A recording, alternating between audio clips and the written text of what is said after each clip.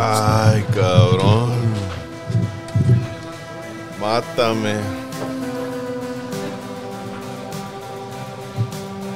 Bueno, pues hoy tenemos un gran invitado que hoy puedo decir con mucho orgullo que es, es mi amigo, el chef reconocido y talentoso Javier Plasencia. Nos está acompañando en este podcast. Estamos aquí en su lugar, en Jazamango, en Todos Santos, un lugar espectacular que tienen que visitar, uno de los proyectos los más recientes. Aquí lo tengo a mi derecha, tomando una cervecita Salud. Santanera, una American Premium Lager. Javier, ¿cómo estás? Muy bien, muy bien. Feliz, contento de estar aquí ah, compartiendo. Mira, Este antes de podcast. iniciar, te quiero agradecer primero el tiempo, como siempre. Hoy tienes un evento, así que vamos a hacerlo lo más rápido posible. Pero aprovecho para preguntarte, para que estés a gusto, en el buen clima. Qué buena cerveza, ¿eh? ¿Te gusta? Sí. Pon la- el álbum que más te guste en estos momentos. ¿A poco? Sí, claro. Para que lo escuchemos durante, durante la entrevista. ¿Te late? Eh, me late, me late. A ver. ¿Qué vas a Eh. poner? Es más, no nos digas y nada más que suene la música. ¿Ya le pusiste play? No, espera. Ah, pero tú, tú, ¿de aquí o qué? No, sí, ya nada más ponle play. Pero de ninguno de estos me gusta. Ah, no, tú dale Ah, search. ok, ok. Lo bueno es que no es mi teléfono. que está muy. ¿Está muy gay o qué? No, no, no, no. Está.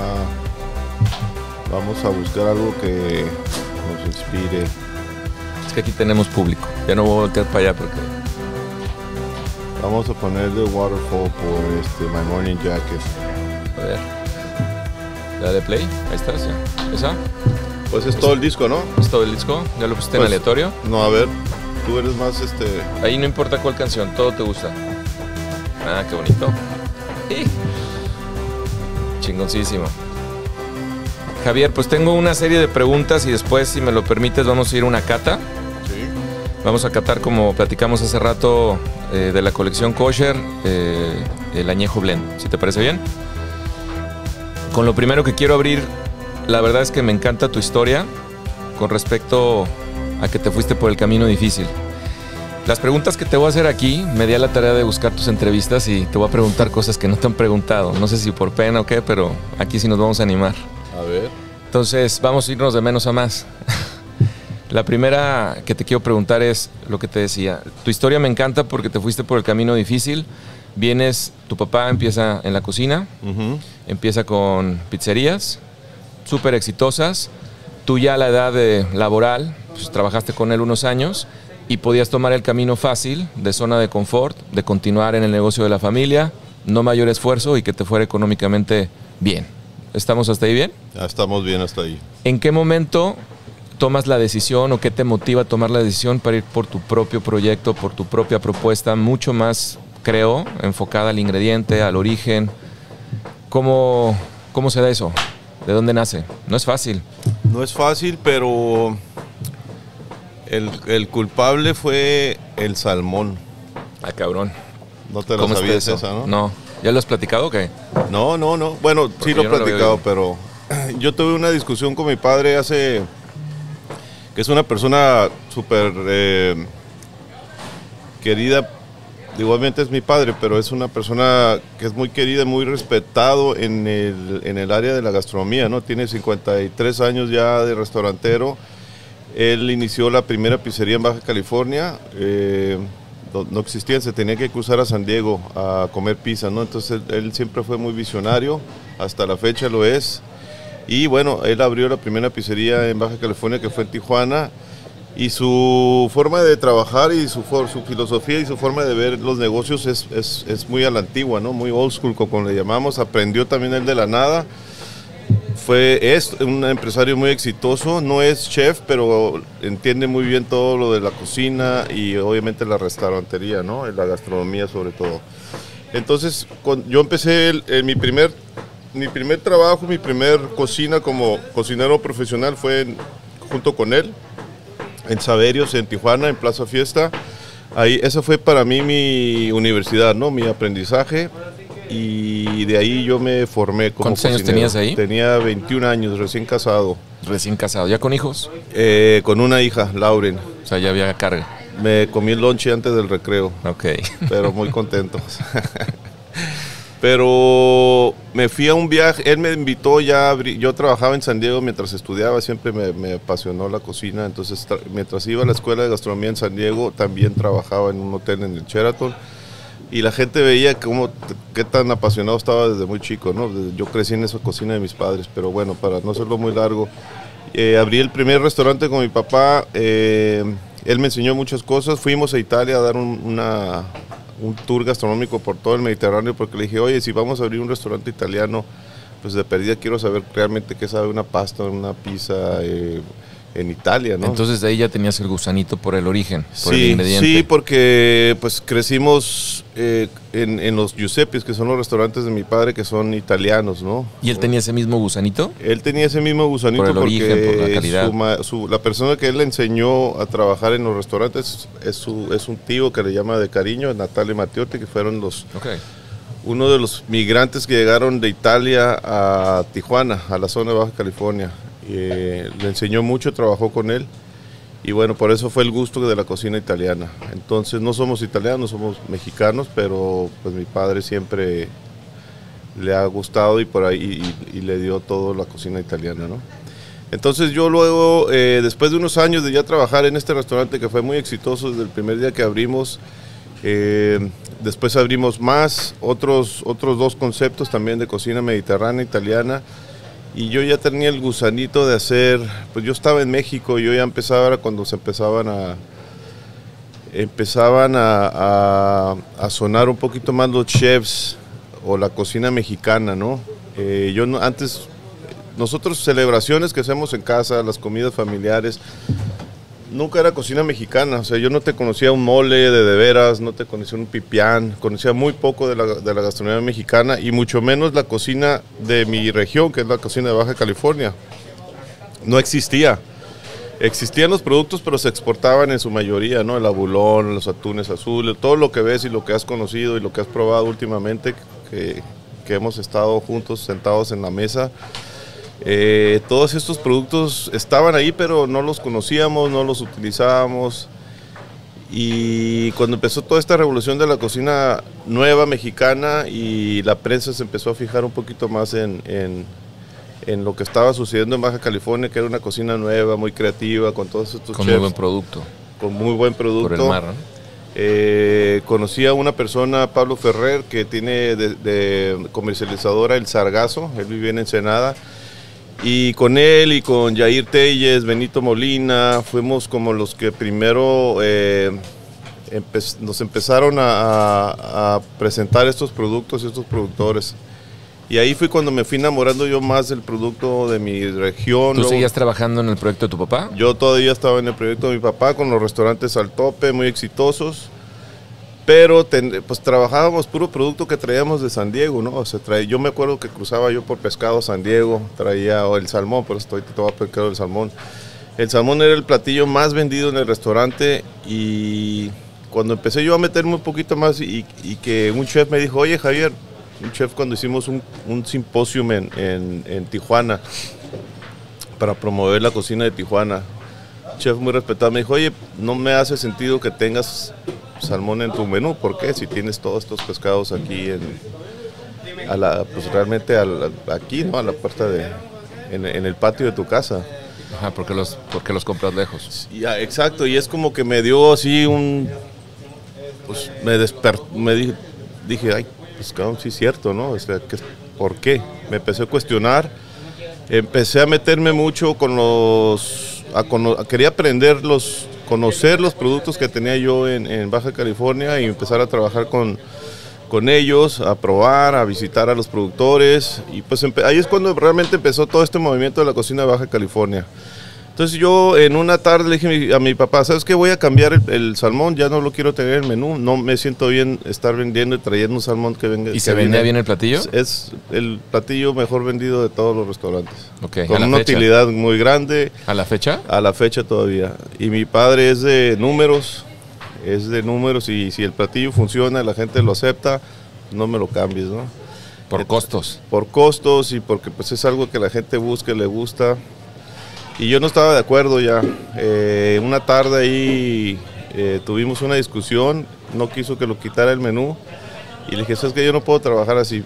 Yo, yo, yo ya tengo mis ideales, eh, no me hace, pues no, la verdad no me hace, no me cuadra estar trayendo un producto tan lejos cuando aquí a la vuelta tengo todos estos grandes pescados. ¿Y era más caro el que estaba cerca? Era... Pues e, e, era, era más caro, pero también toda la, la logística de traer un proveedor nuevo, de que si nos va a cumplir, porque te estoy hablando que son, bueno, eran, y, eran restaurantes de, de, muy alto volumen. Estoy hablando que se vendían, no sé, en un, en un viernes sábado se vendían 200 platillos de salmón, por no, bueno. Entonces es un producto que lo tenías que tener, siempre te llegaba de la misma calidad. Es un, es un producto de, de granja, ¿no? Entonces siempre lo tenías.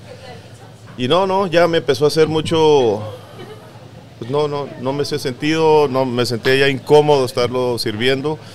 Y en una tarde dije, yo no, ya no, yo no voy a servir esto, yo ya no quiero trabajar esto. Eh, empecé a hacer ya yo mis propios menús. Y en el restaurante. En el restaurante, sin poder quitar todavía el salmón. de hecho, nunca lo lograste. No lo logré, hasta la fecha están. Pero bueno, ya no estoy yo eh, directamente trabajando para el grupo de mi familia, ¿no? Eh, los apoyo y, estamos todos muy unidos y toda la familia trabaja, pero yo ya, ya tengo mis propios proyectos y mis conceptos. Pero entonces, ¿decides empezar a hacer propuestas dentro del restaurante y te las rechazan o, no, qué es lo que genera que el, no, rompimiento en el buen sentido de que empiezas a independizarte? Empecé a pues toda esta curiosidad, estas ganas de aprender y de tener algo en mi menú que fuera muy original, muy mío Después ya, ya tenía, no sé, 12 años trabajando para, la familia y haciendo la misma cocina, que era una cocina muy buena, mediterránea, franca, de buenos ingredientes.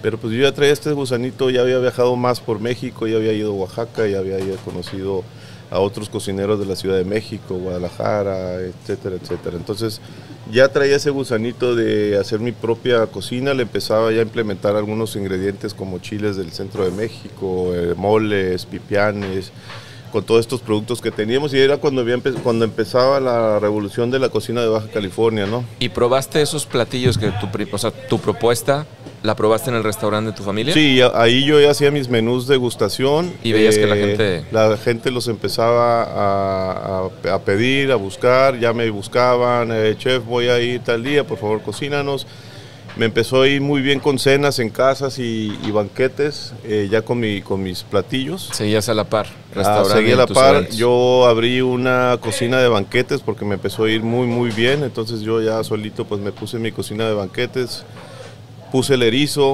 ¿Y en ese eh, momento ya estabas fuera? Estaba con un pie afuera, seguía, pero ya estaba yo ya con mucho trabajo de eventos y banquetes y ya tenía dos restaurantes propios míos y, pero seguía con lo de la familia. Yo fui, cuando me separé totalmente, fue cuando me invitaron al proyecto de Misión 19, hace ya 12 años. Fue cuando definitivamente, eh, por el compromiso que tenía con este restaurante, y me separé, o sea, me fui a abrirlo y, y ya no regresé nunca a las cocinas de, de la familia. O sea, estamos y siempre abrimos Caesars, por ejemplo, que apoyé mucho en la apertura, en la, creación del menú y todavía trabajamos eh, con los chefs de los, de los otros restaurantes, pero no tienen mi firma, no son platos. hay algunos platos que, que, son pues, míos de mi creación que se quedaron ahí. Eh, restaurante de San Diego también, eh, Romesco, que abrimos junto con, mi, con mis hermanos y mi papá cuando estaba Tijuana de la fregada, ¿no? Que estaban todos los secuestros. Por seguridad y eso. Nos fuimos a San Diego y abrimos toda la familia, que fue algo, una experiencia muy bonita, hermanos, mamá, papá, este, todos estábamos metidos en el restaurante y, también ahí se quedaron muchos platos míos. Pero entonces la salida, entiendo, fue amable o en algún momento sí fue un momento complicado familiar con tu, con tu papá cuando decides independizarte. Sí, pues él, él es, es, es, es, como te digo, es una persona pues obviamente uno como padre quiere ver a, su familia, a sus hijos unidos y, en el mismo... Pues él, nunca nos forzó a hacer, a hacer lo mismo que él, ni nosotros crecimos en las cocinas y cada quien, mis hermanos y yo, decidimos trabajar para, para los restaurantes de la familia. Pero yo sí, la verdad, siempre fui muy, como que muy muy curioso en todo, ¿no? Y, siempre tenía estas ganas de hacer yo mis propias cosas. Eh, y fui como me fui yo realmente forjando ya como, pues, como, lo que soy, ya independiente. Ahora ya tengo pues todos los restaurantes bajo mi sello y, son eh, restaurantes que manejo yo ya a mi gusto, hago lo que quiero con ellos y tengo esa libertad, ¿no? Eh, y responsabilidad, porque lo que te quería preguntar es, ya en esta etapa con tantos restaurantes, ¿cuál es tu secreto para que cada lugar que haces es consistente, es exitoso? Pero mi pregunta va más allá de cómo le haces para operar tantos lugares, tanta gente y que sigan bien operados. Si pues digo, no eres omnipresente, ¿va? No puedes estar en todos. ¿Cómo le haces? Eh, es, es, es un trabajo de... La verdad sí es un trabajo de 24/7, ¿no? Como dicen los gringos.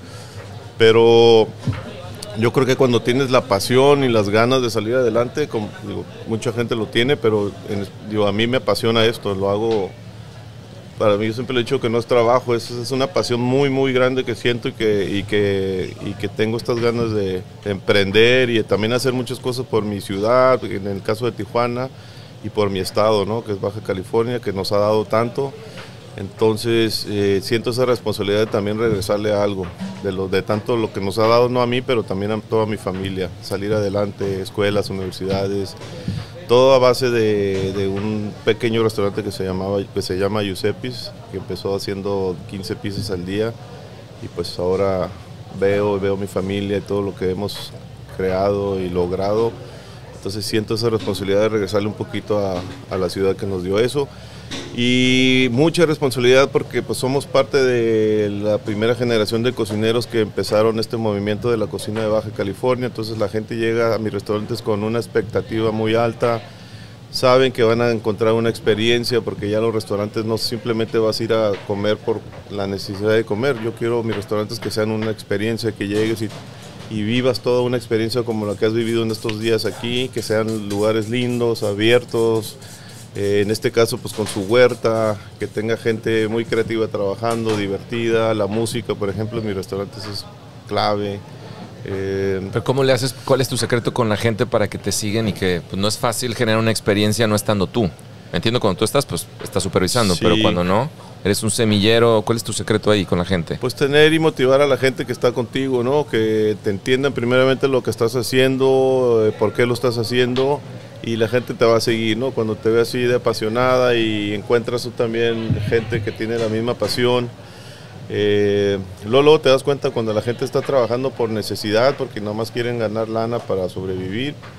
Y te das cuenta también el, otro lado de la moneda de los chavos que, tienen esta pasión, que a veces no les importa tanto el salario, sino que quieren aprender y quieren ser parte de lo que tú estás creando en algún futuro. Y muchos de ellos también los, de los que empezaron conmigo, que ya tienen sus propios restaurantes, sus negocios, eh, a mí me da mucho, mucho orgullo, ¿no? De todo lo que, pues sí, es como un semillero, de toda esta gente que ha salido, que ha trabajado con nosotros y que ahora ya son exitosos y siguieron más o menos la línea o el camino de lo que aprendieron de esta pasión que, con la que iniciamos y seguimos.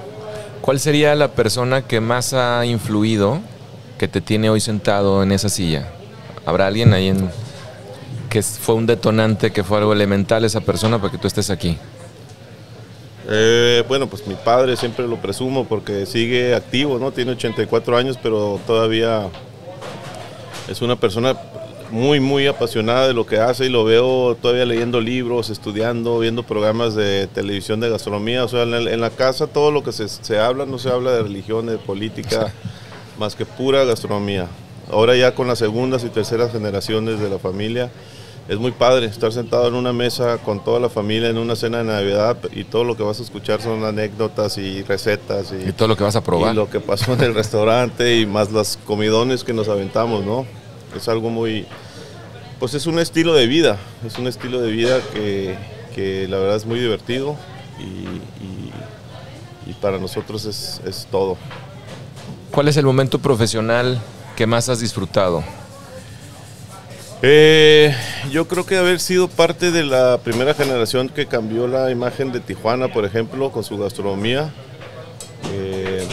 Realmente en este caso de Tijuana sí fue la gastronomía y en, la región que cambió la, la mala reputación que tuvo eh, la ciudad por, muchos años por el, por el tema de, inseguridad y de, del narco y todo esto, ¿no?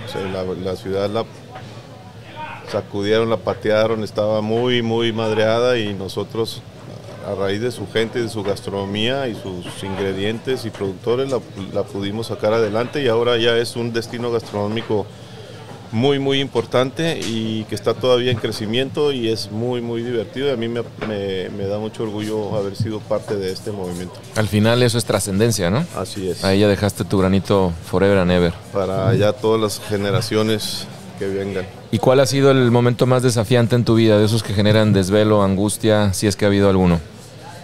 Pues sí, he, he tenido fracasos, obviamente, pero yo creo que sin fracasos pues no puede ser exitoso pero... ¿Cuál sería el fracaso más grande? No, he tenido, he tenido desde malas eh, experiencias en, mis restaurantes con clientes, ¿no? Que la comida no estuvo buena o el servicio estuvo malo. A mí eso me, sí, me afecta mucho porque me, siempre quiero tenerlo, la verdad que las, las, soy muy, ¿cómo te puedo decir? Me gustan las cosas que, las, que se hagan bien, eh, me gusta el orden, eh, y sí me afecta cuando las cosas no están saliendo como yo las quiero, ¿no? O como las visualizas. Pero tienes un talento, habilidad, porque yo ayer que estuve en el evento que era, si no mal entiendo, primero era para 50 personas y se convirtió en un evento de 200, con los retos que eso implica. Pero yo te estuve viendo y eres una persona que se mantiene, pues nunca te he visto enojado, de malas, no. O sea, no, sí, sí eso sí lo tienes, es una habilidad tengo, un talento, Dicen que sí, que mucha gente me pregunta que cómo me mantengo la calma, ¿no? Exacto. Y pues, no, pues así soy, así se me dio, no es que, no es que simplemente ese es mi carácter y... O sea, no es algo adquirido. No, no, así yo creo que siempre fui, fui muy calmado. ¿No te estresa? Sí me estreso, pero nunca lo vas a notar. Quizás eh, sí he hecho muchos corajes y aviento cosas, pero muy ya muy en mi casa, ¿no? En el restaurante no puedes perder la calma. Si empiezas a gritarle a la gente o volverte loco en la cocina, pones a la gente más tensa y más nerviosa y creo que no, no logras lo que estás necesitando en ese momento. Pero soy una persona muy, pudiera ser que me, muy, muy tranquilo, dan de decir, oye, este vato siempre anda bien pacheco porque ni siquiera se enoja, ¿no? Pero no, ese es mi, la verdad que sí, así soy. Y, me ha funcionado, me ha funcionado, la verdad que... ¿Y qué es lo que más y menos te gusta de ser cocinero, de este oficio? Realmente no, no es que no me guste, nada más son, son los, los... Creo que no sé, todo, todo me gusta de este oficio. Yo creo que para dedicarte a esto tienes que estar un poquito medio piratón. Eh, loco. Eh, me ha causado, digo, sí, son muchas horas de trabajo. No veo mucho a mis amigos, eh, mi familia, mis hijos, por ejemplo, los trato de involucrar mucho en mis viajes, en mis restaurantes. Ahorita ya tengo a dos hijas trabajando conmigo, eso, eso me hace muy feliz porque las puedo ver más, las tengo más cerca de mí y también las veo tan apasionadas. Y bueno, eso me, me tranquiliza mucho. Ahora tengo otros dos hijos que todavía no están en el negocio, pero eh, ojalá, eh, no los quiero forzar, pero seguramente les va, les va a gustar. Sé que les, les gusta mucho la gastronomía. Pero son, son ese tipo de cosas, ¿no? Que no vas muchas reuniones, eh, muchos fracasos en mis, en mis relaciones amorosas. pero bueno, esos son los sacrificios, pero no lo cambiaría por nada del mundo. ¿Seguirías? Seguiría y seguiré por muchos años. Cuando llegas a un nivel de éxito como el tuyo, podría ser natural que ya no te arriesgues tanto, porque ya tienes un nombre, un prestigio. ¿Te pasa? Me pasa mucho y es, una, es algo que la verdad sí me quita el sueño muchas veces, eh, porque tienes que cuando ya tienes cierto, pues que eres exitoso, a veces te cuesta o no sabes cómo decir que no a muchas cosas. Tengo muchísimas invitaciones para abrir negocios que te invitan a abrir aquí, que allá y qué proyectos y ven a conocer y, pues es muy halagante, ¿no? Qué padre que te están invitando a tantos proyectos. Hay proyectos muy buenos, hay proyectos regulares, hay proyectos que realmente no me interesan. Eh, pero hay que aprender a decir que no y seleccionar qué proyectos son los que realmente quieres eh, estar, porque sí es muy absorbente. O sea, el abrir un restaurante se escucha muy fácil, pero es mucha chamba detrás de él.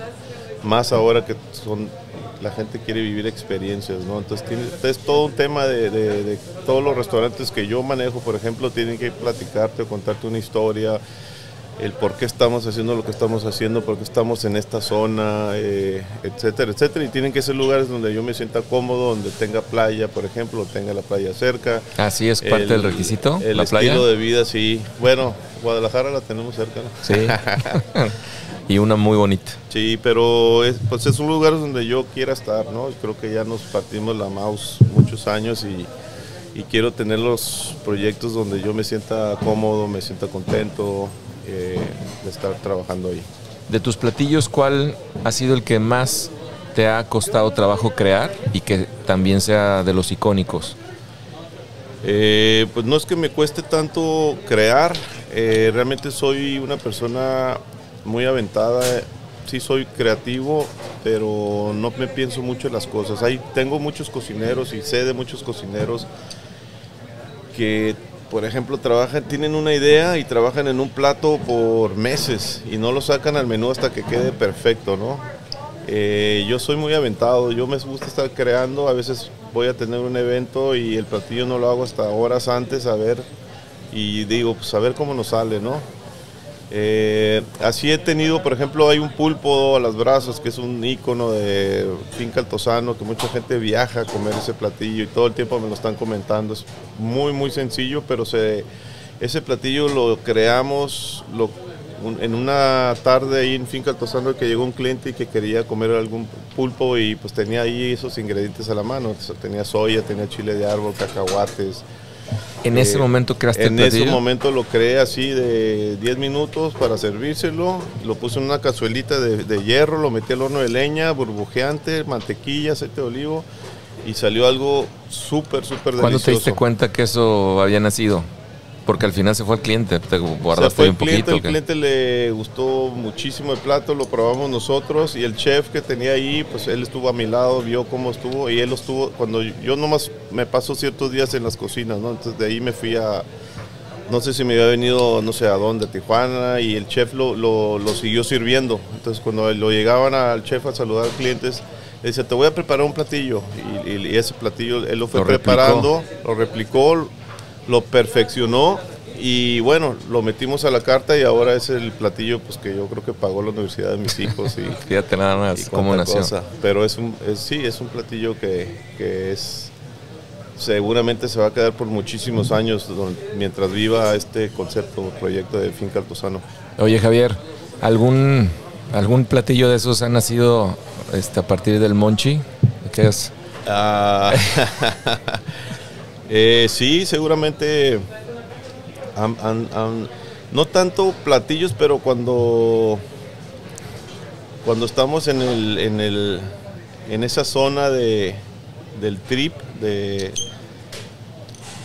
me sueño mucho, o sea, estoy pensando en, siempre en, ingredientes y si mezclo esto con lo otro. Soñar, eso literal, soñando. O, sea, si estoy en la, pendeja, ¿no? En mi casa o ya en la cama o pensando, o relajado o surfeando. Muchas veces creo cosas cuando estoy surfeando, en el, o sea, cuando estoy en el agua esperando la ola o en una tarde ahí este, en el agua, de ahí se me vienen muchas ideas para platos. Entonces regreso y, las escribo porque luego se me olvidan. ¿Cuál es tu restaurante favorito en el mundo y por qué? Eh, ¿Míos o general? General. Me gusta mucho Stone Barnes en Nueva York, que es una de Dan Barber, que es un super chef que tiene un movimiento, bueno, trabaja con puro producto orgánico, este, es un máster para, para todo lo que son las verduras y todo esto. Ese, ese restaurante fue la experiencia que yo viví cuando fui. Es un restaurante que llegas en tren, eh, está a las afueras de Nueva York. Y simplemente la tarde fue, fue, fue mágica para mí. Eh, cené delicioso, iba con una chica, una amiga que nos la pasamos increíble. El regreso nos trajo el sommelier ya después de que habían cerrado, nos estuvimos tomando con él. Estuvo muy divertido. Me encanta también la cocina. ¿Sigue del abierto país. ese restaurante? Sigue abierto, sí. El País Vasco me encanta, la cocina en San Sebastián, por ejemplo, las ir a tapear ahí, esta es increíble. Me gusta mucho la cocina de asados, me gusta mucho este restaurante, me gusta mucho estar en el Valle de Guadalupe con los restaurantes también de mis amigos por ahí. Si pudieras, a ver, si pudieras comer solo un platillo todos los días, ¿podría ser propio o de alguien más? ¿Cuál sería? Eh, me gusta comer cosas bien sencillas. eh, casi siempre desayuno en casa, es lo que como. Me gusta comer mucho. eh, me hago huevo con tortilla, por ejemplo, y eso Eso lo podías comer diario. lo pudiera comer diario sin broncas. Oye, ¿en la industria tienes un mejor amigo? Medio comprometedora la pregunta, pero si lo hubiera y nos lo compartes. Eh, pues aquí está sentado al lado mío. Ay, cabrón. Deja pongo una música más romántica. Eh, tengo muchos amigos, mejores amigos en la industria, no, de mis mejores amigos con los que yo tengo amigos con los que crecí desde el kinder. Ok. Eh, tengo tres que son mis compadres. y a la fecha. Eh, son clientes míos, pero no son, no son, no están en el medio. Pero sí, hasta la fecha. eh, sí. ¿Quién es la persona que más te inspira en este oficio? O sea, un colega. Eh, mexicano, bueno, Enrique, que estuvo cocinando ayer con nosotros, es una persona que ha hecho mucho por la cocina mexicana, eh, no solamente en México, pero también en Estados Unidos. Eh, lo veo muy similar a lo que yo hago, muy parecidos, eh, nuestro carácter. Y Comparten mucho la filosofía, ¿no? Así es. Eh, creo que también es una persona que es muy relajada, pero ha hecho cosas muy, muy increíbles. Eh, pero hay muchos, ¿no? Eh, Guillermo Verastain también en Monterrey que ha hecho tantas cosas por, por- por la ciudad y por todo lo que está haciendo. Este, bueno, son muchos, ¿no? Luego si no los nombro todos se me van a agüitar, pero... Hay varios. Pero hay muchos. Me gusta mucho el trabajo de Thomas Keller, es una persona muy, muy dedicada a su trabajo, trabaja muy, muy, muy profesionalmente. Sus cocinas están así impecables. Eh, la gente que ha salido de ahí, de esas cocinas, son gentes muy exitosas que están haciendo muy buen trabajo. Entonces, pues, ese tipo de chefs. ¿Y algún consejo que alguien te haya dado que te, que te acuerdes hasta la fecha? ¿Quién te lo dio? Híjoles, han sido tantos, pero mi padre, perseverancia, su palabra preferida, porque en, est- en esto de la gastronomía, si no hay perseverancia, pues estás frito, ¿no? Entonces, imagínate servir el mismo plato todos los días y que te quede igual, que te llegue a la mesa a la misma temperatura, con el mismo sazón, aunque lo hagan varios cocineros, diferentes manos, eso es lo más difícil de esta profesión. Hablando de tus miedos, ¿cuál es el más grande que has logrado superar?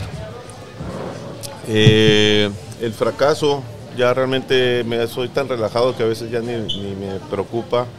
Eh, aprendo mucho de él, pero me río, he aprendido a reírme de mis pendejadas y de mis fracasos y, y, pues eso sería. ¿Y te da miedo el fracaso por, por la gente, lo que va a opinar o es algo interno? No, realmente ya me he hecho muy vale madre, o sea, ya no me, no me importa lo que la gente piense porque creo que ya logré lo que quería lograr. Ahorita ya estoy en un mode de, de sí sigo aprendiendo, y, y- pero ya me río de las cosas, ¿no? Me río mucho. Ya mis hijos hasta me regañan. ¿Hay algún miedo que todavía te siga? Eh, realmente no, el enfermarme y no poder trabajar o el no poder surfear o hacer ejercicio, que es lo que me, más o menos me ayuda a mantenerme un poquito sano, ¿no? Para poder seguir trabajando tantas horas y de pie. Y con la cabeza como me gira tanto, pues creo que necesitas tener un balance, ¿no? Importante ahí de, de que estar sano, porque pues sí es, es de, es este trabajo es de subirte a un avión y mañana estás por acá, el, día siguiente estás por allá, el- ese tipo de cosas. ¿Cuál es tu siguiente reto? Pues mi siguiente reto es seguir creando experiencias. Tengo tres proyectos nuevos que, que ya están avanzados y que tengo que echar a andar. Eh, eh, esos son mis próximos retos porque la gente llega con una con una pues ya con, como el sello no el sello de, de- de- de nuestra cocina nuestros o nuestros nuestros conceptos la gente ya llega con ¿cómo se le dice? Con un... a vivir estas experiencias que tanto he escuchado, si gente que ha venido a mis restaurantes aquí, expectativa. las expectativas son muy altas, ¿no? Los que viven en Valle Guadalupe y vienen, por ejemplo, por acá, o sea, quieren vivir ese mismo tipo de servicio, la excelencia en el ingrediente, eh, ese tipo de cosas. ¿Cuál es el reconocimiento que más atesoras a nivel profesional? ¿Hay alguno que, algún premio o algo que te marcó? Pues tengo varios premios que me han, me han Pero el uno. marcado. El uno. Pues no, no, realmente no hay uno así que me digas.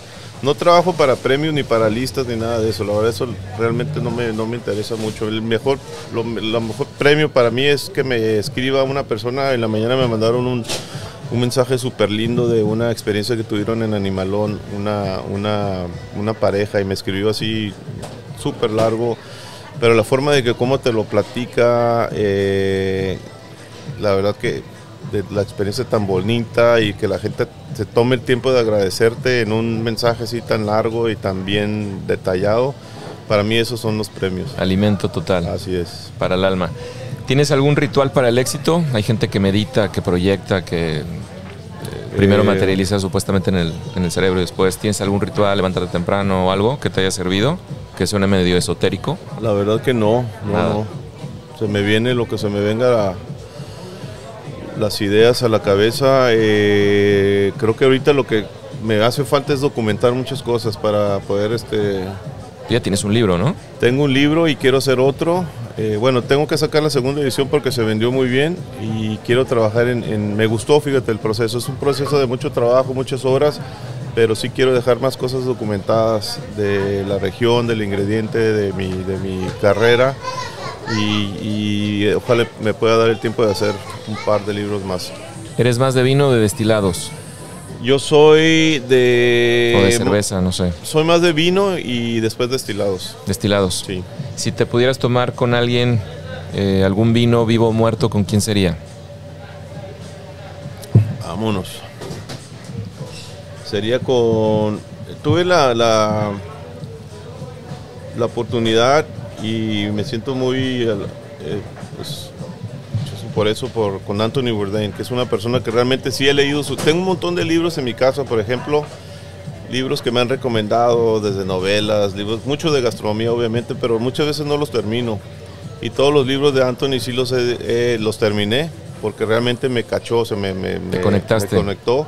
Y tuve la oportunidad de conocerlo eh, en Tijuana, ahí en Misión 19. Es una persona que me senté con él 45 minutos a comer, a conversar, a tomar mezcal y, y otras cosas que hicimos divertidas. Le enseñé la parte de Tijuana y es alguien que sí me marcó, la verdad. Se puede escuchar como cliché o dice, "Ay, pues, todo el mundo tiene, dice lo mismo, ¿no? Pero realmente sí me identifiqué mucho con él, me, me gustaba mucho su humor de él, el humor negro y todo como era. Eh, él puede ser una de esas personas eh, que, me, que, me, que me ha marcado. y que te gustaría echarte uno. Bueno, no te puedo traer a Anthony por obvias razones. Eh, la idea era o es catar Kosher Blend, pero quiero platicarles que para que vean nada más el grado de tipo que tengo aquí a mi lado, tiene un evento a muy poco tiempo. Van a venir ¿verdad? 300 o no sé cuántas personas.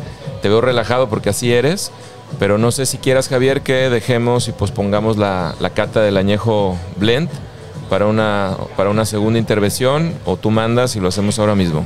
Con todo... No, venga, venga, tengo que ir a hacer paella. Ahorita me voy a dedicar a hacer paella toda la tarde para nuestros invitados porque ya es, es es una, algo que la gente espera que hacemos cada año aquí para el aniversario.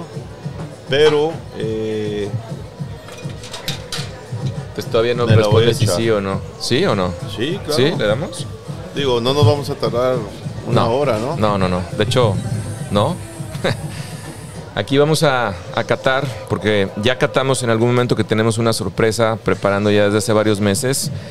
Eh, estamos produciendo un documental que se llama el documental Lote Piedra, que obviamente está este, Javier eh, reinterpreta ese lote y, y, pues se grabó una pieza que está ahorita en producción. Entonces quisimos hacer algo diferente, catar no lote piedra, sino kosher blend, que es nuestra propuesta de nuestra colección eh, kosher. Este es un añejo con extrañejo. Sé que también eres fan de la barrica, ¿no? Así So- eres es. más de blancos, pero también te gusta la barrica y los aromas y sabores terciarios, ¿no? Así es. Entonces, si te parece bien, pues le damos poquito a la cata en vista, como siempre, con copa de vino.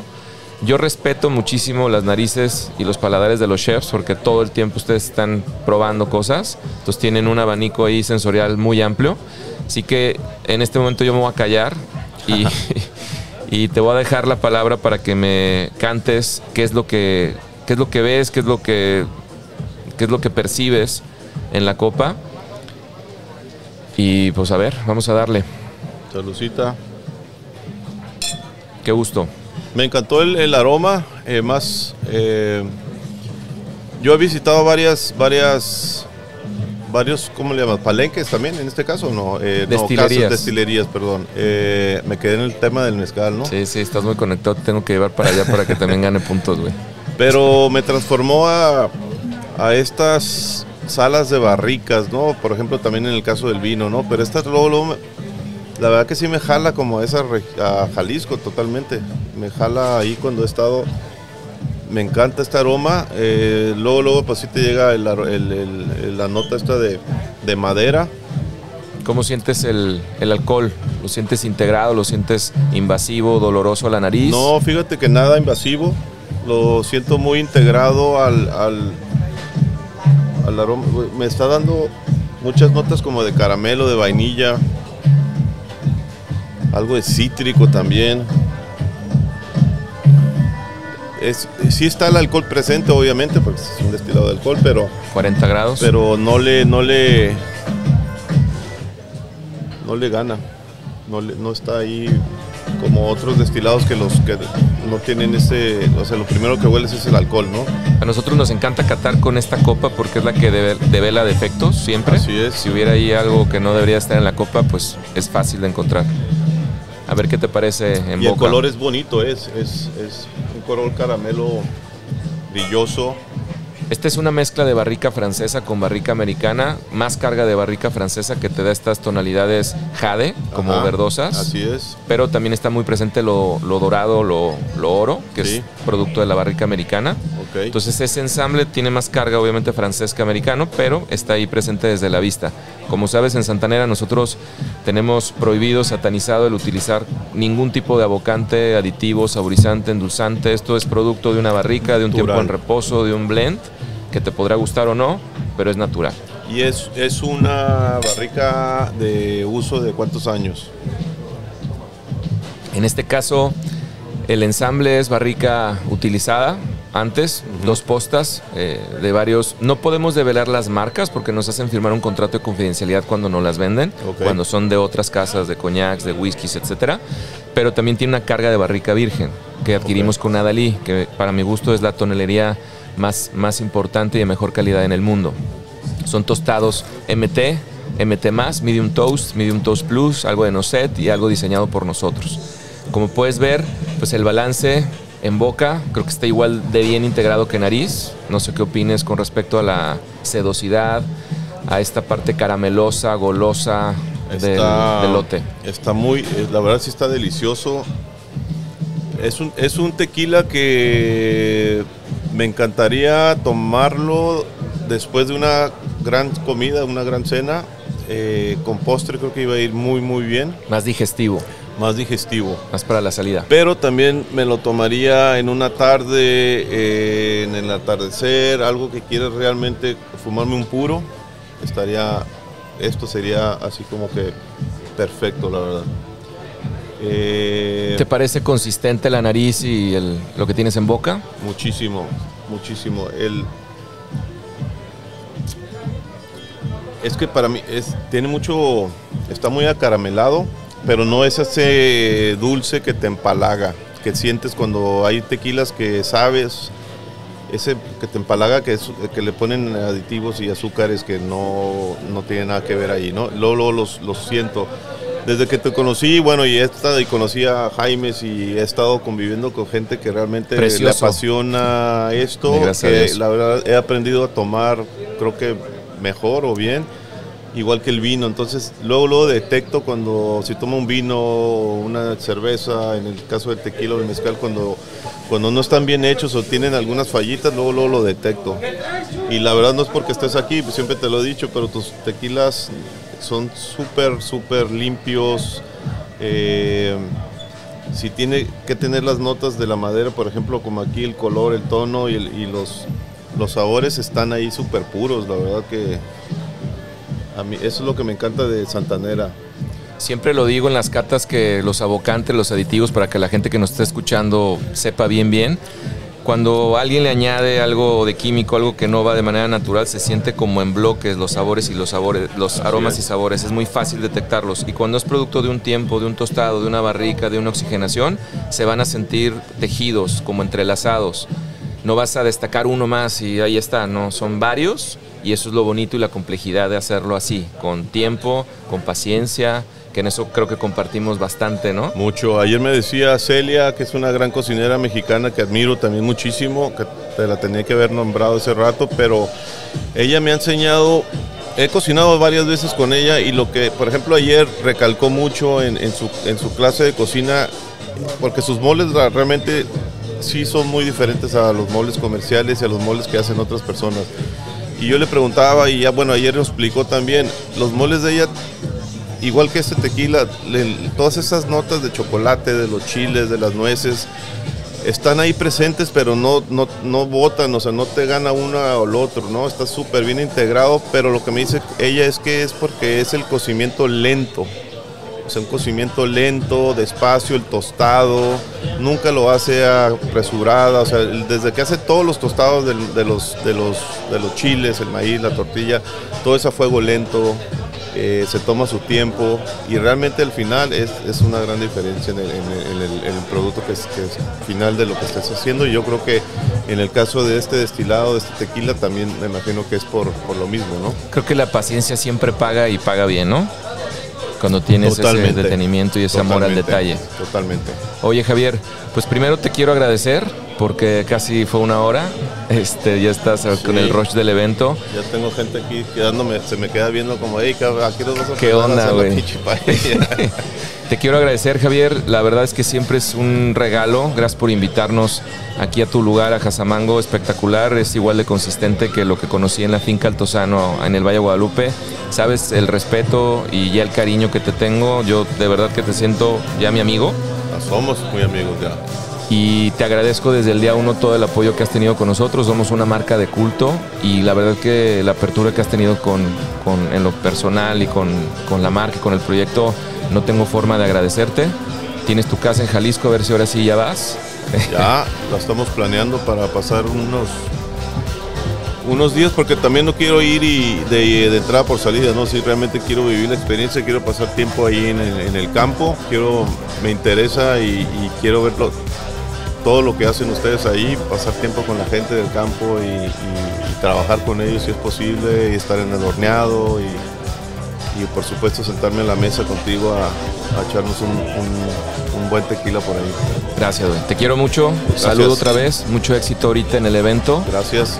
Y pues a darle a disfrutar de eso que me han hablado mucho de la paella y de la, de la barbacha, ¿no? ¿Que va a haber o no? La barbacha ya debe estar saliendo del horno. Chingón. También tenemos a nuestro amigo Aarón de trae unos brisket que está ahumando desde las 5 de la mañana, que seguramente va a estar. Y con este le va a ir bien, ¿no? Puta, claro que sí, por todo este caramelo y ese ahumado que tiene. Sí. Así que hay que probarlo. Bueno, pues terminamos con esto. Vengan aquí a Jazamango en Todos Santos. Gracias de nuevo, Javier, todo el éxito ahorita en el evento y a partirla. Gracias. ¿Qué pasa?